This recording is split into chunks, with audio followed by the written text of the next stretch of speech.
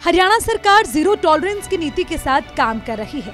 भ्रष्ट और रिश्वतखोर अधिकारियों पर एक्शन लेने के लिए एसीबी की टीम एक्शन मोड में नज़र आ रही है। मामला पानीपत का है।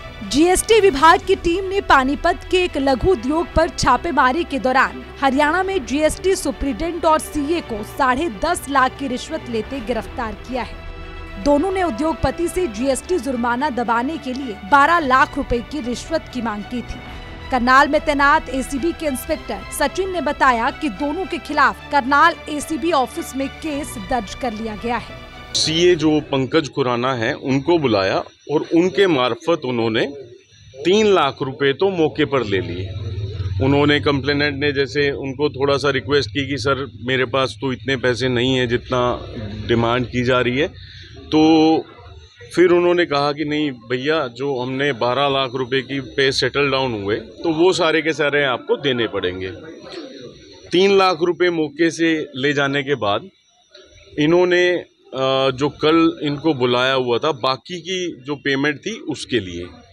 तो इन्होंने जाके मजबूरी वश यही कहा कि सर मेरे पास तो सात ही हैं, और फिर जो एक्यूज हैं, इन्होंने कहा भैया, नौ लाख रुपए तो देने पड़ेंगे। अब कंप्लेनेंट हो गया तंग।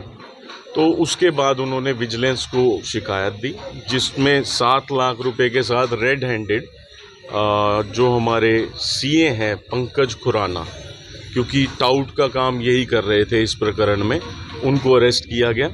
उसके बाद जब अगले प्रेमराज मीना हैं, उनको पूछताछ के लिए बुलाया गया, और जब उनके खिलाफ सबूत गुजरे तो उनको भी अरेस्ट किया गया और जो पहले लिए हुए तीन लाख रुपए थे, उसके वो तो रिकवर कर ली गए। उसके अलावा एक पचास हज़ार रुपये और मिले हैं उनसे, जिसके बारे में अभी तफ्तीश जारी है। चार्टेड अकाउंट पंकज खुराना और जीएसटी विभाग के अधिकारी प्रेमराज मीना के खिलाफ मामला दर्ज कर अदालत में पेश किया जाएगा। दोनों से इस मामले पर पूछताछ की जाएगी। पूछताछ से उम्मीद है कि जो अन्य अधिकारी या कर्मचारी इस मामले में संलिप्त होंगे, उन्हें भी गिरफ़्तार किया जाएगा। सूर्य समाचार के लिए पानीपत से सुमित भारद्वाज की रिपोर्ट।